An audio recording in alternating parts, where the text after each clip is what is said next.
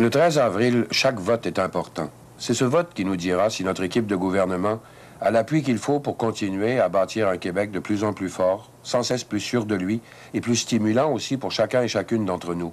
Et dans ce cas, on pourrait faire ensemble de tous les défis qui nous attendent autant d'occasions de nous prouver à nouveau qu'on a eu, qu'on aura toujours raison, d'avoir pleinement et solidement confiance en nous-mêmes.